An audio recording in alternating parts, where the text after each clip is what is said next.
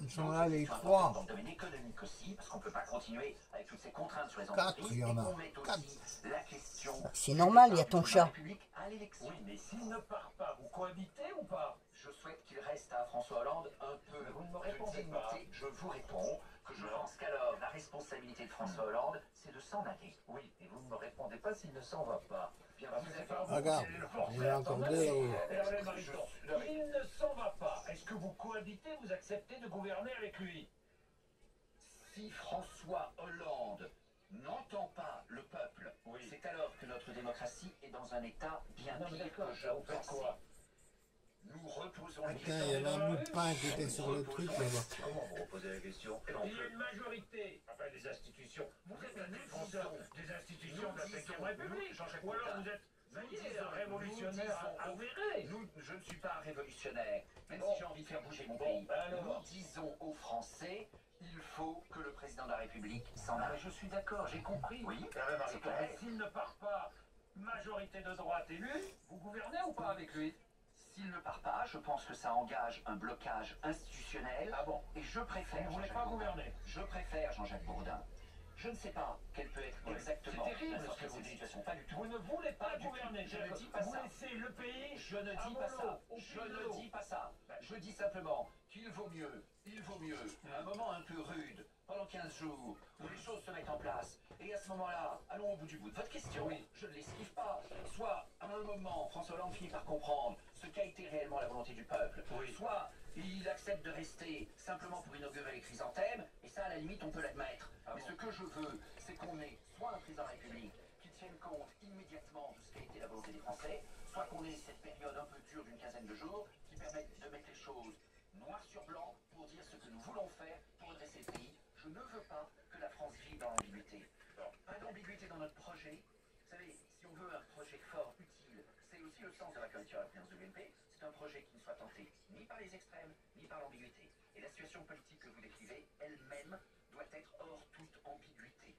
Vous êtes l'homme de la semaine, vous rencontrez Nicolas Sarkozy jeudi et Sergei Lavrov demain. Oui. Le ministre russe des Affaires étrangères.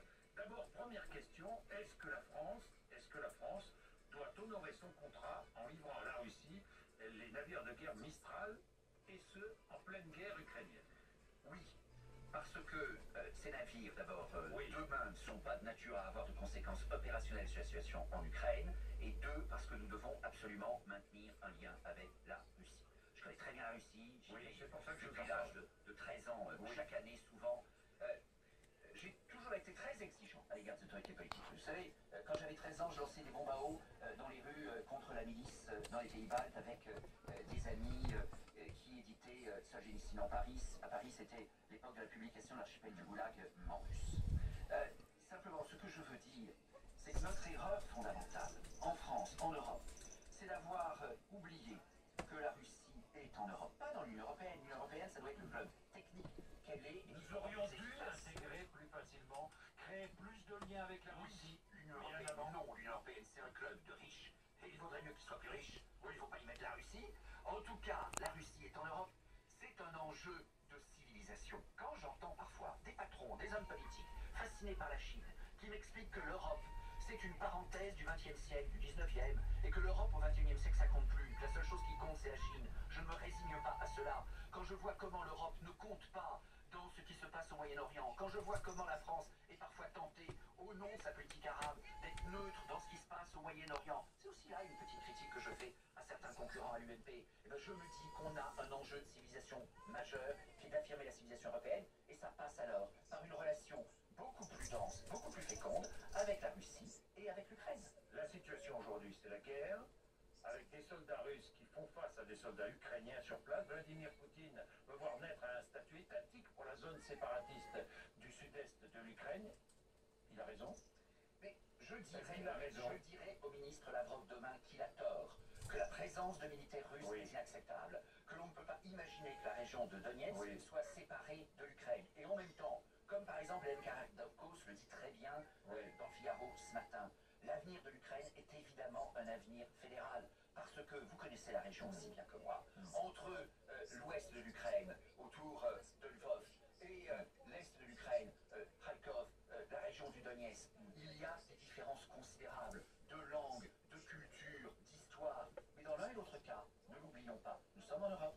Et moi, je veux que l'Europe demain, ça compte encore. Parce que c'est important pour l'avenir de mes Mais enfants. quand vous voyez l'OTAN qui dit nous allons euh, euh, avancer des troupes euh, presque aux frontières de la Russie, est-ce que l'OTAN n'est pas pompier pyromane dans cette affaire? Je pense que l'Europe ne doit pas mettre de l'huile sur le feu. Je pense que l'OTAN ne doit pas nous avons réintégré Oui, oui, oui. sous le gouvernement de Nicolas Sarkozy.